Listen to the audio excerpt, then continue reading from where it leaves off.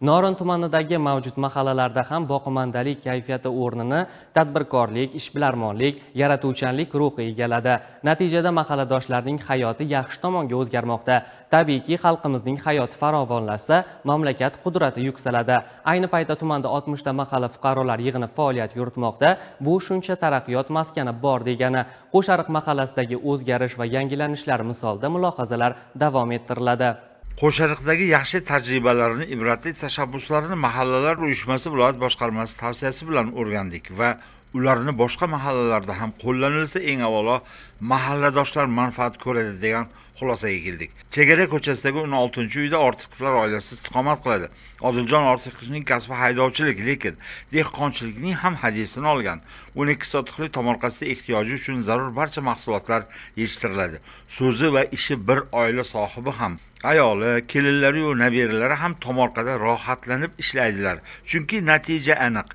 Mehnat dasturxonlarini to'kin qilmoqda. Bir ikki yildan buyon qahraton qish oylarida ham dasturxonlarini yangi uzilgandek saqlangan pomidordan tortib qulupnaygacha bezamoqda. Mana shu xonadonda e, biz to'qqiz kishi yashaymiz. O'n ikki sotik ochiqroq e, hovlimiz bor. Hovlida mana ko'rib turganlaringdek hamma e, yeb ichish uchun hamma narsalar bor. Xonadonda hammamiz mehnat qilamiz. Mehnatni orqasidan sog'liq yaxshi bo'ladi harakat bo'lgandan keyin. Dasturxonimiz to'kin bo'lyapti. Xudo xohlasa ko'chadan sotib olmaymiz. Oilamizdan chiqadi. Mahalla raisi shoira iminovaning ta'kidlashicha o'tgan yil amalga oshirilgan davlat dasturi tufayli qo'shariqning ko'chalari obod ravon yo'llarga aylandi. Bu obodlik odamlarning dunyoqarashini ham o'zgartirdi. Natijada mahalla markazi va ko'chalardagi mana bunday manzaralar xonadonlarni ham bezay boshladi. Mustaqillik ko'chasidagi mirzayevlar xonadonida ko'rganlarimiz fikrimizga dalil.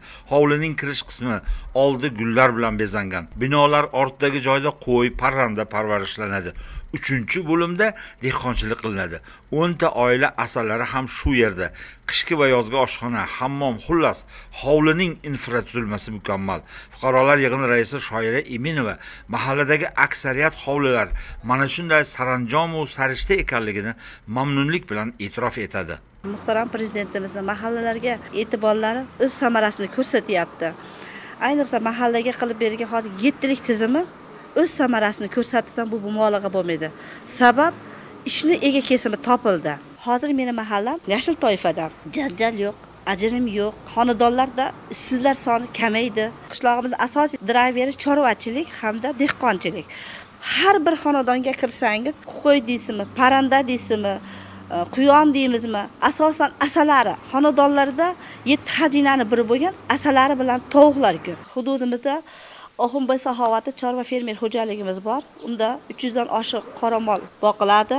Mahallamizdagi ehtiyojmand oilalarni mana shu fermer xo'jalik bilan hamkorlik qilganmiz. Fermer xo'jalik o'sha har bir xonadonga bir voshdan hayvon beryapti. Shu hayvonlarni o'sha xonadonlarga ham yetkazib o'sha xonadonlarni ham daromadini oshirishga aslida harakat qilyapmiz. Xullas norin mahallalari ham bugun rivojlanmoqda taraqqiy topmoqda. Bundan esa eng avvalo mahalladoshlar manfaat ko'rmoqdalar.